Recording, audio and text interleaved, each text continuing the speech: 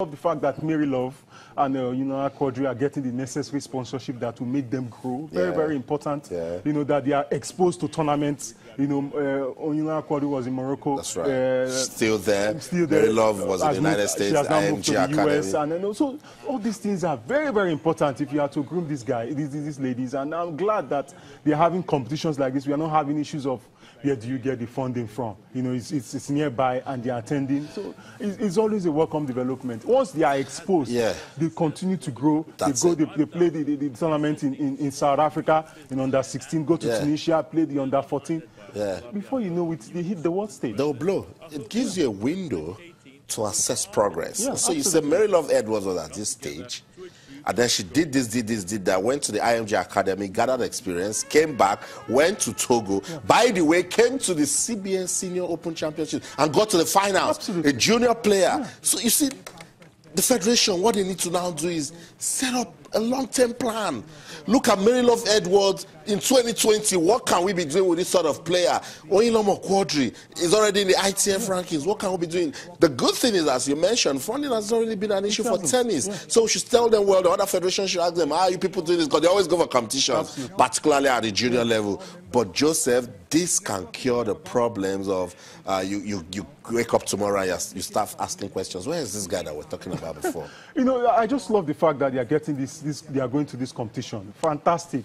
You know, I was looking at Mary Love the last time she was in the studio, and, you know, her dad was highly in support of her, and, you know, That's the right. federations also have been giving her the necessary support. And that academy that she's going to is not an African, it's the US. And then she's exposed to the best of tennis, the best of coaching, you know, the best of in environment. She's mixing it with her academics.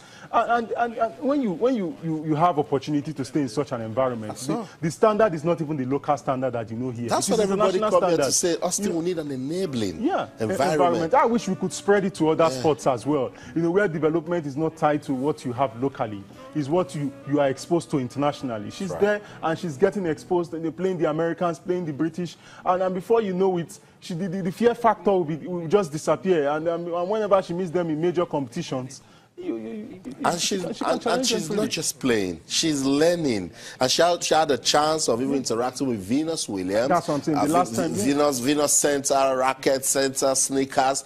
This is just little ways to motivate an upcoming talent. And I was looking at her that day, realized that her level of audacity has really grown. Her confidence level, the way she speaks and the way she carries herself, you realize that this You- is somebody who is very, very bold now. And if, you know, no, no more fear. That's right. And she's getting exposed. She's realizing that there's That's nothing what it- esoteric about see- these guys because I'm training with them. I'm they playing with build them. you mentally. Mentally So you are, okay, okay, so that's it. Uh, we just want to wish Nigerian junior tennis players all the best. They're in Lome, Togo for uh, the African Junior Tennis Championship qualifiers for the CAT and the Central Africa region. Let's let's wish them all the best as we already have three Nigerians in the finals. Let's get on with the show now. And this one should get you talking. A news uh, that came from the Nigerian Football Federation says the Super Eagles will take on the Three Lions of England when June the 2nd, 2018. So that's a good way to prepare for the World Cup. Let's get that conversation going. I just opened a thread on our social media platforms and say, what's your take?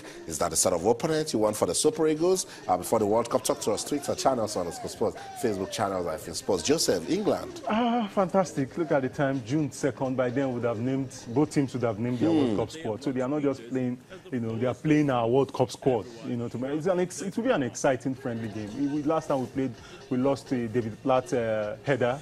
And uh, this time around, I'm sure everybody will be looking forward to it. It's going to That's be a a, great time ago. match. And, uh, you know, I just want to see how we're going to flex our muscle against uh, the English. And I would so much love us to get a victory. But more importantly, I just hope that we'll take advantage of that, you know, friendly game to learn a lot, you know, going to the World Cup. And it's very, very close to the tournament for both teams. And, uh, but, but it's a good, you know, development for Nigeria That's football, right. being able to wrap up this great A friendly match and confirmed, more importantly, you know, by the English FA. So I'm looking forward to it. It's been everywhere. I, I like it. Big time development, as you mentioned, because uh, both sides, uh, the technical crews can look at it. And you, I mean, you could even use it to say, this this team that I mean, England is not. England it's is a not top team. You It's know, not a pushover team. it- So it's not. get on know- rock you know and they're- say, not- they're not I'm gonna going do the to World Cup." use this English match, for instance, to, To the- ascertain my midfielders, to look Yeah. at my midfielders, you know, and then uh, if we play Poland, I will use it to test my strikers. you play another, you know. The, the options are there. The Yeah. options are there. That's why that's the essence of having a great A-friendly match. You know, against Argentina, we did a lot of testing. So many players came off the bench. You know, we are hopeful of playing Poland on the 23rd of March. You know, to be confirmed. You, you use the opportunity to test strategy. Don't wait for a real match situation in the World Cup against Croatia and you're testing. And that would be very, very dangerous. So That's right. right now, you know you are playing England. You know what to expect and then you know what you have and you know what you want to you know you, I, I foresee a situation where the team that will play against england might actually be the team that to play against croatia. Hmm. You, know, you couldn't we couldn't have asked for a better opportunity. I mean the playing playing that first team gives him an opportunity to assess one or two areas that maybe the, the, the, english might puncture and see how to bring in one or two players. But i do believe that going to the world cup the, the first team the first 11 should be the team we should play, you know, with when we are up against England. So that's it. Um, we have words from the first vice president of the Nigeria Football Federation, Barrister Sheyi Akinwunmi. Um, everyone is excited that that has happened now, and according to him, he says uh, the match is now confirmed. Confirmed. Sealed, signed, and delivered. I said we had been doing a lot of work in the background, even going back to last year. Now we're happy to say uh, that it's all sealed. Certainly, it is good. Uh, it is going to be um, a big match between the two countries of remarkable historical affinity.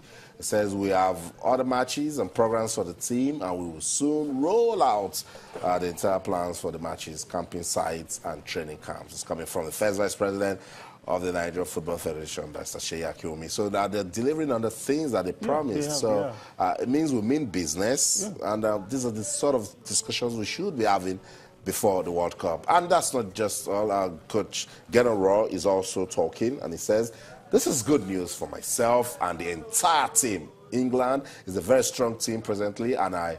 I believe they will give us a very good match. Absolutely, That's absolutely. that's right. It's going to be a very, very cracking encounter, and uh, we're looking forward to it. I mean, we could not have asked for a better test of to test our strength, test our ability, you know, even you know, scouting as well, and then tweak our team going to the World Cup because. The game will be against. We must have picked our team. Both teams must have picked their team going to the World Cup, and I must congratulate the Football Association for being That's able right. to pull this off. Yeah. I mean, we've had immediately the English FA confirmed it. Mm. I was very, very excited. So that's it. Uh, it's confirmed. You can see. Uh, you heard from uh, the first vice president of the Nigerian Football Federation, of course, Gernot Rohr, uh, saying it's a good one for Nigeria when they take on England. When June the second. Put that down. That's something to look forward to. Sports Tonight on Channels TV. We'll go on another break. We'll come back. There's two more to talk about. Don't go anywhere. Stay.